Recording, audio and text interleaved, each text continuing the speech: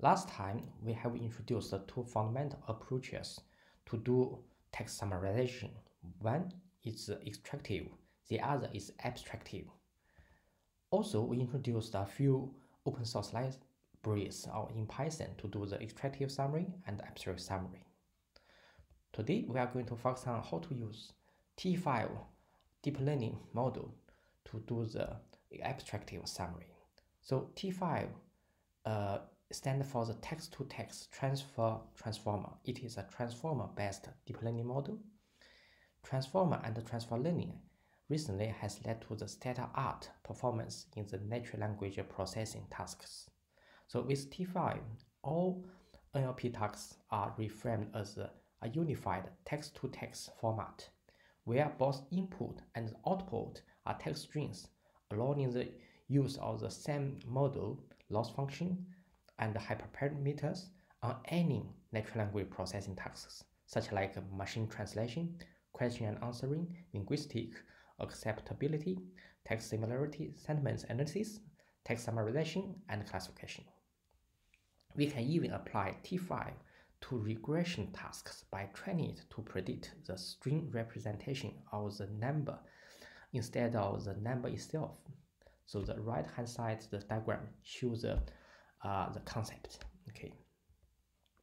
So how T5 works?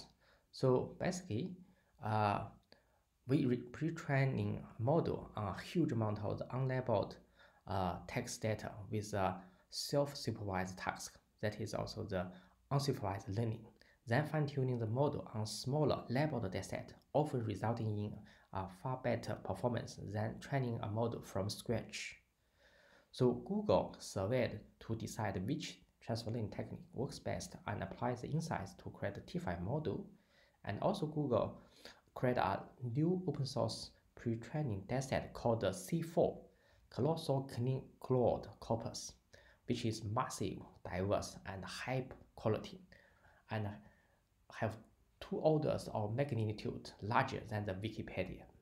The T5 pre-trained on the C4 achieves the state-of-art result on many natural language processing benchmarks while being flexible enough to be fine-tuned to a variety of the specific downstream tasks. They even created a pub trivia challenge using the T5 model and you can try it on the website by yourself. Okay, so let's move to the hands-on notebook to see how can we easily using the such kind of T5 deep neural network model to do the uh, abstractive text summary. Okay, so again, recall the abstractive summarization is a deep learning approach. Here, the sentences in the summary are generated and not extracted from original text. Okay, so that is the deep learning generative language model approach. So this notebook will focus on the abstractive text summarization technique using the T5 model. Okay, and also if you are interested in the extractive summarization techniques, please see my previous notebook. Okay, so T5 model again, it actually um, you know analyze like the you know the the uh, framework of the text summarization and reframing all the NLP text as an input text to output text formulation. So the T5 developers write, right? With the T5, we propose reframing all NLP tasks into a unified text-to-text -text format where the input and output are always text strings in contrast to the BERT style model that only outputs either a class label or a span of the input. Our text-to-text -text framework allows us to use the same model, loss function, and hyperparameters on any NLP tasks. Also, from the Hugging Face, you know, the website, they introduced the T5 as an encoder-decoder model pre-trained on a multi-task mixture of the unsupervised and the supervised task and for which each task is converted into a text string.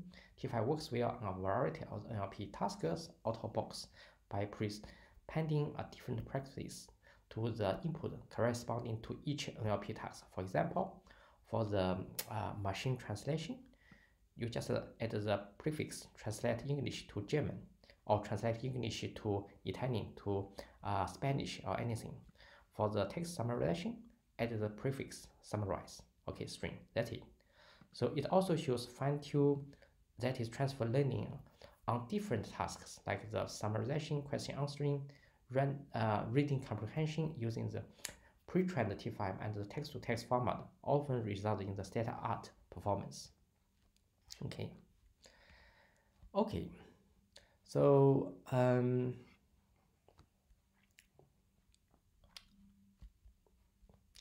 this is also some like the reference, you know, to the uh, T5 model concept and the introduction. Okay. Here also is some like a concept about what is the transfer learning. So transfer learning basically is a technique uh, where a model is first pre-trained on a data-rich task before being fine-tuned on a downstream task. You know, it has uh, emerged as a like powerful technique in the NLP, and the effectiveness of the transfer learning has given rise to diverse approaches, methodology, and practice. Okay. So now we are going to using the Hugging Face, you know, transformer implementation of the T5 model for the abstractive summary generation. So uh, a list of the pre-trained like uh, T5 models can be found here. Okay. So and also the T5 model comes in the different size, small, base, large, 3 billion, 11 billion parameters. So other variations of T5 model are also available such like T5 version 1.1, which is an improved version of T5 with some architectural tweaks and is pre-trained on the C4 only without mixing in the supervised tasks. The MT5 is a multilingual T5 model, is pre-trained on the C4 corpus, which includes 101 languages. Okay. Also, the byte T5 is a pre-trained on the byte sequence rather than the sentence piece subword token sequence. Okay. So uh, we are going to uh, select, you know, uh, some uh, news article to text, you know, the T5 models, you know, summarization ability, and we are using the two uh, different models in our experiments. One is the T5 web-based model, another is T5, you know, the fine-tuned uh, summarization model on news. Okay. So the here is the model card for T5 base.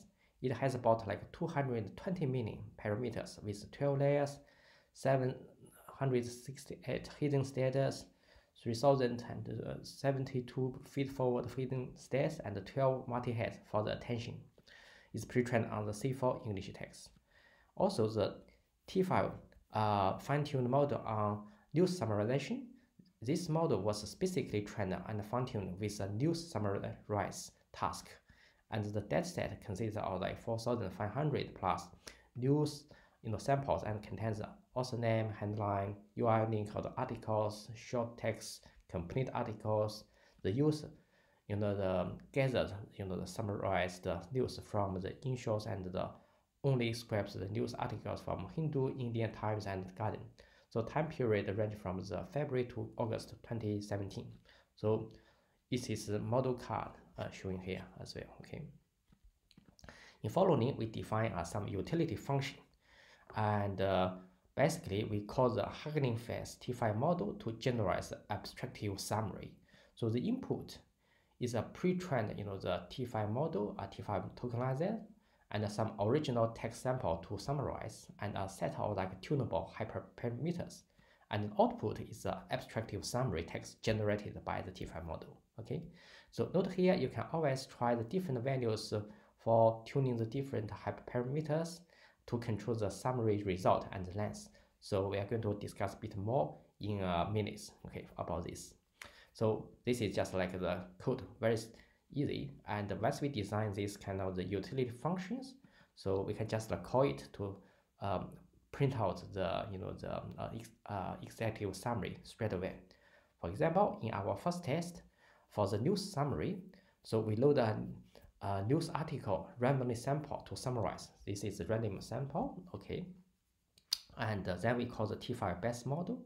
So just like a couple lines code, and we get the, our nice abstractive summary result from the T5 base here, okay? And also you, we call our T5 uh, model fine-tune on the news summa summarization task, and then it generates uh, some sharp summary as well. Okay, so observation here we can see above many you know the padding characters can be cleaned up to produce a um, you know the tidy result. Also, you know the it looks like for some specific NLP tasks like the text summarization, which is the focus our discussion here, and for specific domain like the news summary here. The fine-tuned model for all the news summarization mod produce some bit better and more concise summary than the generic you know, T5 base model, thanks to the power of transfer learning using the specific news domain training data here. Okay, you can compare the result. Okay, okay. So let's actually do our second test. You know, summarize the short text. We look at the same you know uh, sample text talking about what is the canary deployment. You know, for a like-for-like comparison with our previous extractive summary result and technique. Okay, so this is the original text about what is the canary deployment. Then we call the T5 model, again, one line code, and you can generate some summary here, and also call T5 fine-tuning model on new summary. You generate another summary, okay, straight away. So also below is the extractive summary result using the Sumy, the LexRank uh, model. Please see our previous, you know, the text summary, the, the first notebook on the extractive summary tutorial and video notebook for the details. So here is actually generated the result by using the extractive summary technique. So we can do we can do the comparison here. So the basic you can see the deep learning enables the abstractive summary looks a bit more natural, more coherent, and more like the human writing summary than the extractive summary, right? Okay. That is nice observation. Also, uh, here are some tips on how to produce a possibly the optimal text summary specific to your own text or your own data. Okay, so one option is fine-tuning the text summarization hyperparameters. As mentioned before, for specific NLP tasks or the text summarization, you can always use ROSE T5 models out of box. So you say it's very straightforward to use it, it's very easy, and you can generate some uh, nice, uh, you know, the zero shot, you know, projections or the summary for your, uh, you know, text. So that is very nice. But if you want to actually to produce possibly the optimal summary result specific to your text data, so one option is actually to fine tuning the following T5 hyperparameters like the maximum length, minimum length, length penalty, repetition penalty, okay? And then you find, but the problem here is that finding the um, best, uh, you know, the values for so many hyperparameters is often sort of like dark arts in the deep learning artificial neural network study, okay? But of the like good practice is trial and error. You can, you know, the search and experiment in, until you find something satisfying. For example, if you want to do the new summary, run such scripts as follows, okay? So I defined some such script here. You can see these are range of like the um, possible like values for each hypermeters, and then I do some sort of like the brutal search, uh, try to find the optimal, uh, you know, the um, hyperparameter values here. And then you see, I just like to time it and see like the, uh, you know, the, uh, what is actually the, uh, the result of the summary generated by the each combination of the hyper parameters here. Okay, a lot of experiments has been done automatically by running this code. Okay, and um, uh, please note here, you know, after you obtain the search experiment result above, okay, you can either manually check the, the all these kinds of the summary text generated, okay, and to find which set of the like the parameters values uh, could give you the best result. So here also do use multiple representative samples in your domain before draw, drawing any sensible conclusion. Also, if you have a good template or good summaries as target label, you can use in text summarization evaluation metrics such like the BLEU precision and or like ROUGE recall you know criteria to quantify the performance. Here also I indicate an excellent uh, uh, Stack Overflow uh, post on this. Okay. Another second option is transfer learning. Okay. So for this option is even better and fundamental solution. So for your specific domain problem and specific text data to summarize, we can and should use transfer learning and a small set of our own domain training data to train a customized T5 model optimal for our specific domain use. Basically, you just need to load a pre-trained T5 model as a good starting point, and then further train it with your domain data to fine-tune it to better summarize your specific text. For example, if we like to summarize you know, our meeting notes as it is difficult, sorry, it's a different domain from news, we can collect a customer training data set or such like the input text is raw, you know, the original meeting transcripts and the output the target text is the golden template or the like the meeting's executive summary, then we will we can just like fine tuning our model using such kind of customized small data set. Okay. So please forward to the following, you know, the URLs, you know, to get more information on how to do the transfer learning for the text summarization, uh, you know, the models. So this is the, the training instructions, and this is the excellent repo with the running scripts to fine tuning the summarization models. Okay. Here, a cell, you know, it's a bit like noisy, the uh, summarize uh, the result above, you know, here we just create a some clean summary by remove some special tokens and spaces here. So this is just like code, you know, after running, you know, for the, what is the canary deployment, you know, our T5 models, you know, the, uh, you know, uh, fine tuning on the new summary, generate some nice, you know, the summary, okay, here as well, okay. Okay, so let's run our, you know, the third test, which is actually summarize the long text, you know. Here, I'm going to using the Alice Adventures in Wonderland story as a test sample, okay. So this is the Wikipedia for the Alice uh, Adventures in Wonderland. You can see for the story plot is a lot of text here, a lot of text, okay. So we are going to summarize it using our T5 model, okay. You can see it's a the plot part is a contain like 5,000 plus characters. Okay. Uh, a young girl named Alice sits bored by the riverbank and blah blah. Okay.